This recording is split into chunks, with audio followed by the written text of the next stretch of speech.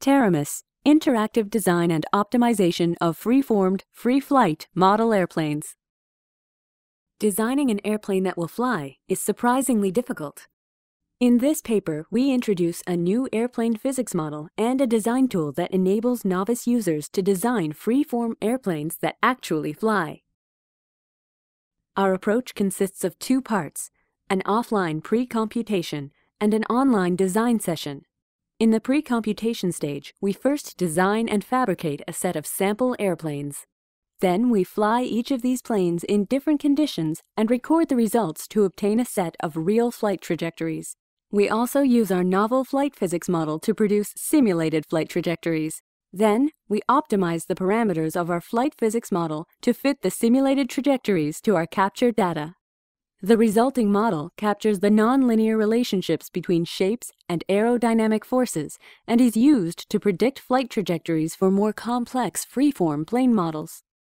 Based on this physics model, we can also optimize the wing position and orientation of a given plane to ensure that it will actually fly.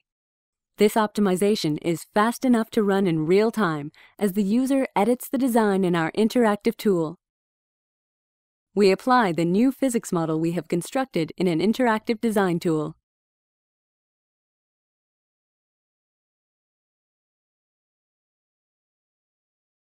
During design, novice users typically create airplanes that will not fly. To improve the flight trajectories, the user next enables Make It Fly mode, and our tool optimizes the design. Because this optimization runs at real-time rates, the user can interactively manipulate the plane and see the resulting optimized flight trajectories. This interface allows the user to continuously explore the design space of flyable planes without requiring labor-intensive design test iterations.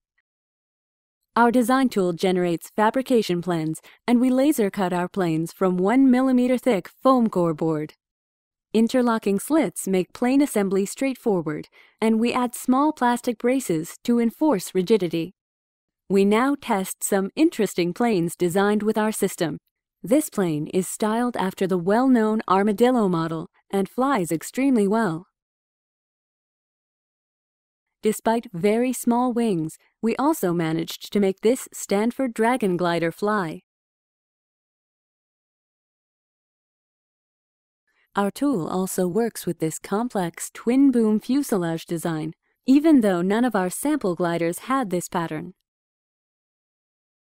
Our techniques depend only on the material thickness.